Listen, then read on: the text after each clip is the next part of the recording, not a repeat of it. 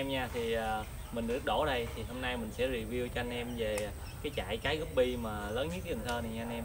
Thì ở đây là chuyên cung cấp sỉ và lẻ các loại guppy uh, cho cửa hàng và cho anh em mới tập chơi. Và hôm nay mình sẽ quay cái clip mà hướng dẫn cho cho anh em mới chơi luôn nha những cái dòng cá mà uh, ghẻ và uh, từ ghẻ tới, tới uh, đắt tiền nha anh em. Thì ở đây là cái chạy của anh Thanh Ngô. Thì địa chỉ đây là 42 36 khu vực Tân Trường Lạc ờ, quận Ô Môn phố Cần Thơ nha anh em. Thì cái cái trại này nó nằm cách ờ, trung tâm Cần Thơ là năm cây số. Thì nằm trong ờ, đất vườn anh em thì đất đây rất là rộng nên cái quy mô rất là lớn. Thì anh em nào mà có chơi cái pi lâu á, thì chắc có thể cũng đã biết ở đây. Và nếu mà anh em nào mà chưa biết á, thì hôm nay mình sẽ review sơ lược về cái trại ở đây. Thì anh em mà theo chân mình thì thêm tham quan cái mô hình ở đây thì theo mình hết luôn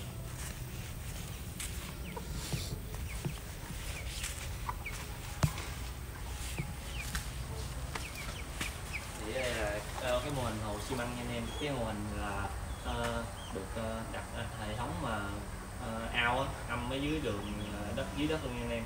Thì ở đây cá ở đây là toàn bộ là hồ xi măng hết. Thì mô hình mà hồ nó rất là bự thoải mái. Thì cá phát triển rất là ok mà nó rất là bự.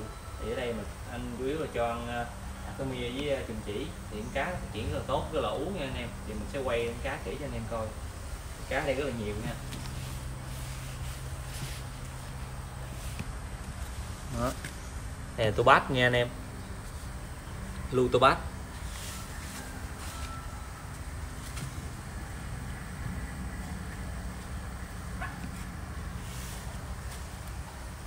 coi. Ờ, thì ờ, những cái mình nói với anh em như cái clip trước mình đã nói với anh em á, thì mình sẽ review những cái chạy ờ, thêm nhiều cái chạy hay hơn và hấp dẫn hơn cho anh em anh em nào mà yêu mến mình á, thì nhớ đăng ký kênh ủng hộ mình để mình review thêm những cái chạy mà đặc sắc hơn.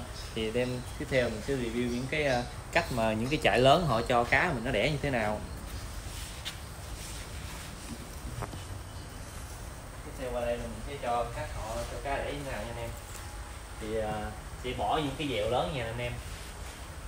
Cho cá cho cá nó đẻ ra bên ngoài á, thì khi nào mà họ thấy mà con cá mà đẻ người ta bỏ tới ờ, 10 đến 20 cặp cá giống vô cái dèo này, để khi nào mà thấy đủ số lượng phải không? Thì người ta sẽ bắt những ờ, cá mẹ này ra một cái hộp khác, để khi nào mà, thì ờ, đây sẽ là các con nó cùng một phơm người ta sẽ ừ, tầm 5 đến 7 ngày là người ta sẽ giờ dời cái dèo này qua những hồ khác, để cho nó phát triển các con nó tốt hơn, nó không bị cá mẹ dí và nó ăn mất cái nguồn cá con của mình nên cá con phát triển tốt hơn.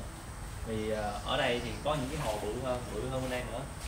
Để cho nuôi cá số lượng nha anh em. Là như những cá mà nó, đẻ ờ, số lượng nhiều mà cho cái diện tích nó rộng thì cá sẽ phát triển ờ, ok hơn tốt hơn.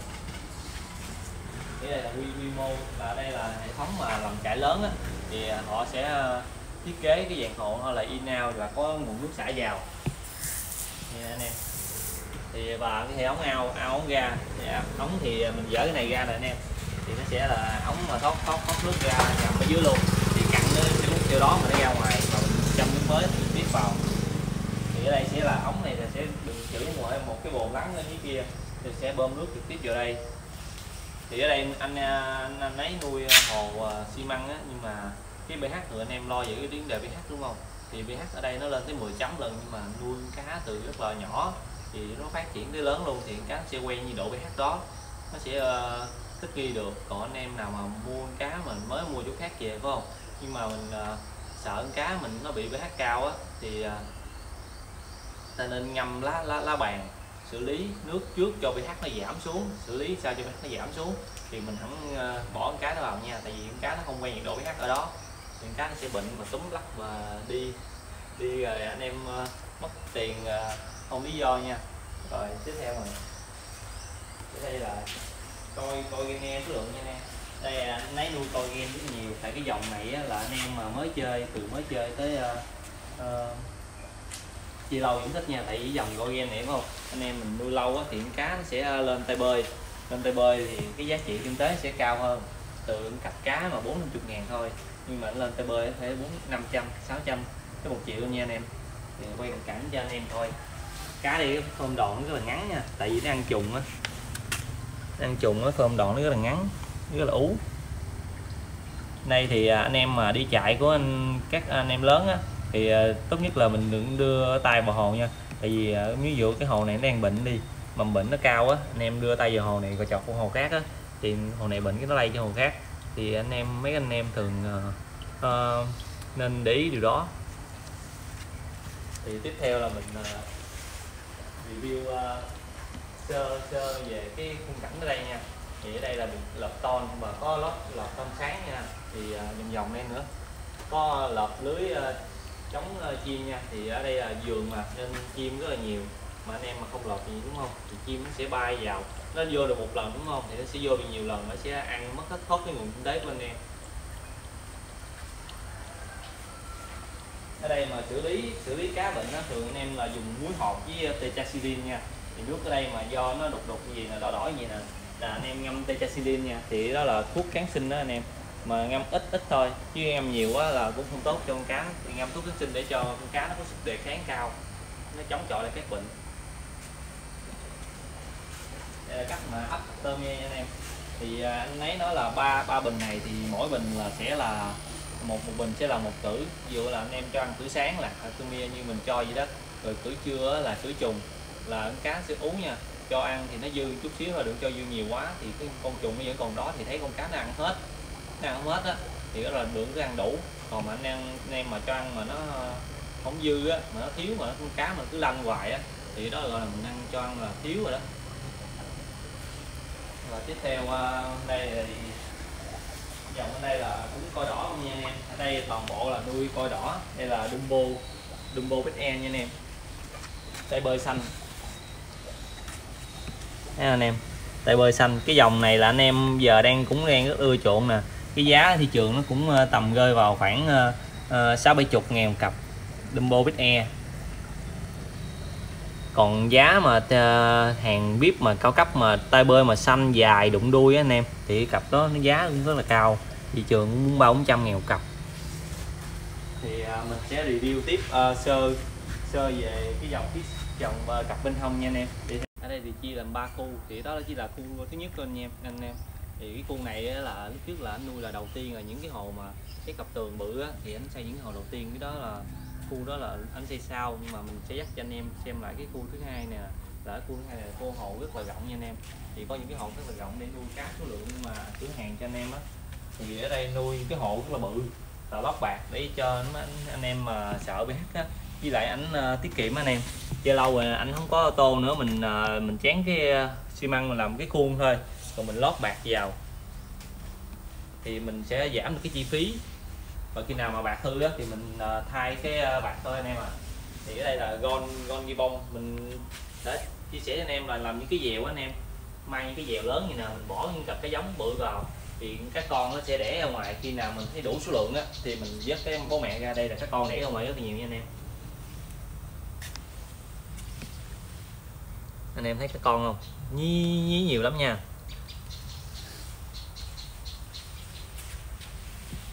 Đây là con ghi bông uh, giống của anh em của ảnh nè anh em. Thì uh, ghi bông à, uh, tay bơi bướm phun dễ nha. Hàng xe giống á.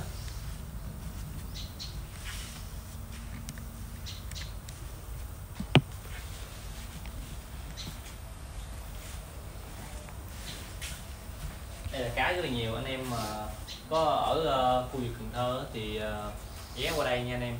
Thì cái link cái Facebook với lại cái số điện thoại á, mình sẽ để với phần mô tả cho anh em mà muốn biết thêm về cái trại của anh Thanh nha thì let's go theo mình sẽ dắt anh em đi xem những cái uh, uh, cái phần phân phân khúc chạy lớn hơn ở phía sau. Đi theo mình. Đây là những cái hồ bự. Là cái khu này là cái khu mà đầu tiên mà anh ấy mới bắt đầu á lập nghiệp á. Thì anh ấy nuôi những cái hồ bự như thế này.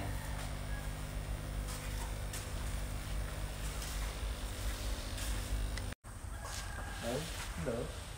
Làm beta hay sao làm meta làm meta hay gì á? Biết người ta khó lắm mà có chỗ phơn nữa làm thì được rồi đó đúng không con làm dễ chết ra đi anh muốn làm đi con mười ngàn mười ngàn đúng không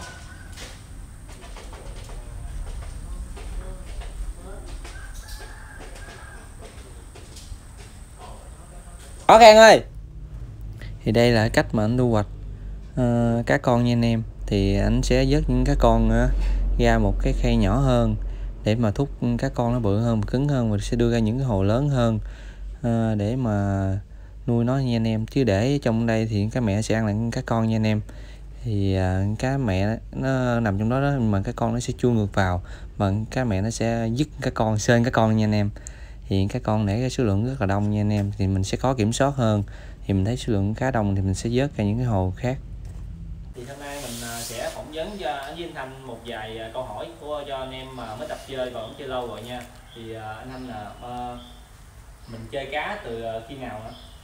chơi cá là hồi cuối năm 2016 thì con đường mà dẫn dắt anh tới Guppy là như thế nào? Ờ, mới lúc đầu thì ờ, tập tành chơi những con beta với đồng thời là chơi thủy sinh đó. Rồi cái ờ, đi ra tiệm mua cá bảy màu về chơi. Thì uh, tình cờ sao thấy cái con full lúc đó nó có giá trị cao. Thì mới là vô nhóm hội và những cái diễn đàn của cá bảy màu á thì mới biết được cái thị trường bảy màu là có những con cá đắt giá dành cho những cái tay chơi sưu tầm. Thì lúc đó là mới bắt đầu uh, tập làm quen với những con full uh. thì, thì anh mới chơi vậy á, thì anh có ra được cá hay là từ tại sao mà anh có cái hứng để mà anh đầu tư một cái quy mô rất là lớn Ờ, như thế này ạ? Lúc đó chơi thì mình nghĩ là không có mà, mà kinh doanh đâu. Nhưng mà thực sự ra lúc thời thời điểm đó cá nó, nó cực kỳ là hình thành luôn. Nên là mình làm ra chừng cỡ trăm hai trăm con cá mình đâu mua nổi nữa nên là mình phải kiếm đường mình xe ra. Thì đăng lên những cái nhóm hội á thì anh em rất là thích. Rồi ờ, mình mới có ý tưởng là là mở rộng để kinh doanh cái con cá cái màu này luôn. À, thì ờ, cái cái nhiệt độ pH đó như là anh em cũng biết đó là cái nhiệt độ pH hồ xi măng á rất là cao. Thì anh em xử lý cái nhiệt độ pH như thế nào? Ở đây á, thì nhiệt độ cái cái độ pH của hồ xi măng á, thì nó tầm cỡ 9 chấm. Nhưng mà không mình, riêng mình thì mình không quan tâm tới cái cái độ bên khác lắm. Rồi mình cứ cho cá bột vô, làm quen từ bé tới lớn thì nó sẽ ok, nó không có sao hết đó, thì như anh em như lúc đầu clip mình đã nói thì à, mình nuôi con cá từ nhỏ thì cái nhiệt độ nó sẽ à, với cái à, độ pH môi trường đó, nó sẽ quen với con cá thích nghi với cá tới lớn luôn thì nó sẽ khỏe nha anh em. Nhưng mà nó có sẽ có nhiều vấn đề trong cái lúc mình nuôi cái hồ xi măng nó sẽ khó hơn khó xử lý hơn hồ thường xíu. Thì anh em mà nuôi lâu rồi sẽ có thể biết và có gì mình comment phía dưới để cho mình biết thêm cái những cách mà phòng trị nuôi cá trên hồ xi măng nha anh em. Thì uh, cái ờ, thì cái này hơi tí nhị xíu nha. Thì cái một cái hồ cá như thế này á thì một uh, cái thu nhập trung bình của một hồ là bao nhiêu tiền? Thì uh, ở đây làm tính mức trung bình trên hồ thôi. Một hồ thu nhập nếu mà suôn sẻ hết thì hồ chỉ được sáu trăm ngàn. Thì ở đây là quy mô là anh rất nhiều hồ nha anh em. Thì ở đây là bao nhiêu hồ anh anh phải uh, nói chi tiết hơn? Thì uh, trên dưới là 300 hồ uh, 70 hồ là làm chuyên về coi cái em uh, hơn ờ, 40 hồ làm về Dumbo và hơn 100 hồ làm về coi đen và coi resort.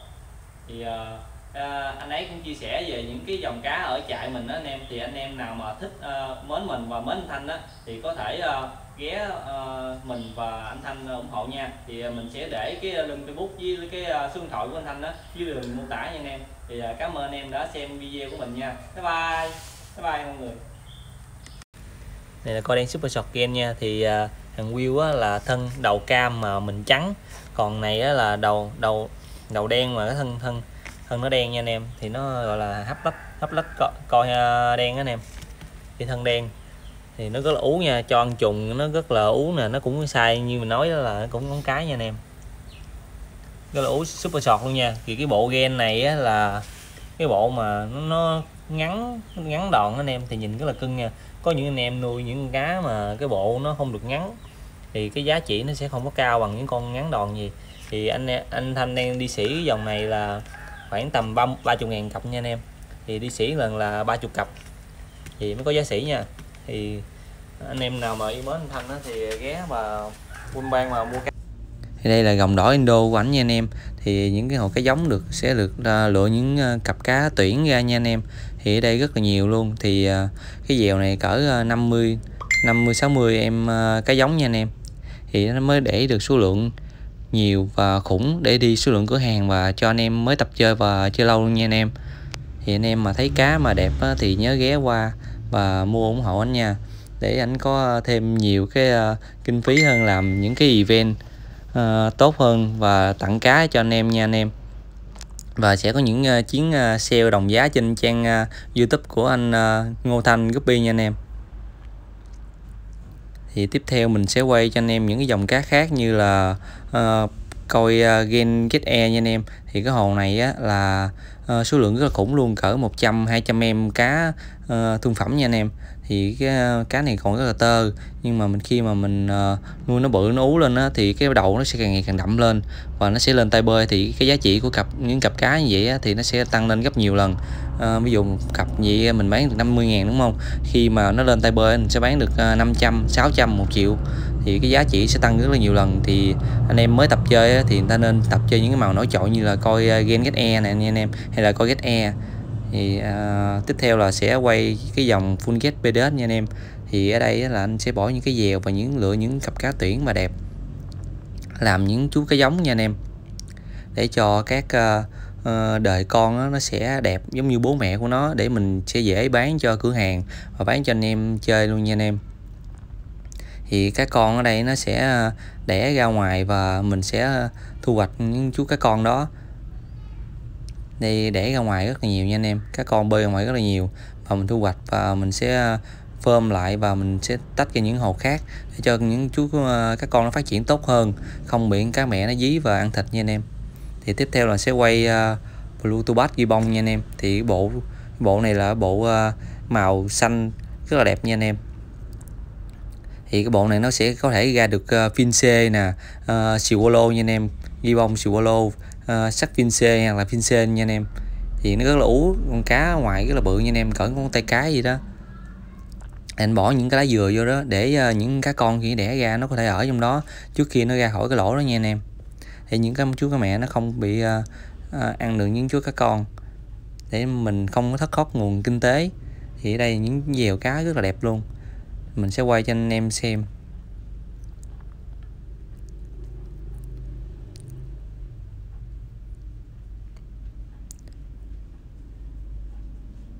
Và tiếp theo là cái dèo uh, coi get e luôn nha anh em. Có những chú mà lên hai tay bơi luôn nha anh em. Thì có gen có ghét nha anh em. Thì gen là những lựa anh lựa những con đầu đậm để làm giống anh em. Để ờ, khi về lớn thì sẽ ờ, lên hai tay bơi nhìn cá rất là đẹp luôn và giá trị nó rất là cao.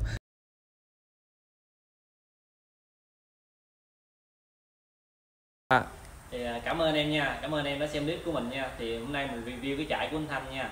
Thì uh, trong ngày 29 tháng 1 sắp tới đây á, thì mình sẽ đem những cặp cá của mình đem đi thi nữa. Mình sẽ lên những cái clip hay hơn cho cái cuộc thi này và show những chú cá mà đẹp của mình và các của các uh, khách mời uh, đem tới thi nha. Thì uh, các bạn nhớ đón xem clip tiếp theo. Thì nhớ để lại một cái đăng ký kênh và một cái like để cho mình tạo được cho mình làm những cái clip khác hay hơn và đặc sắc hơn. Thì mấy bạn các bạn.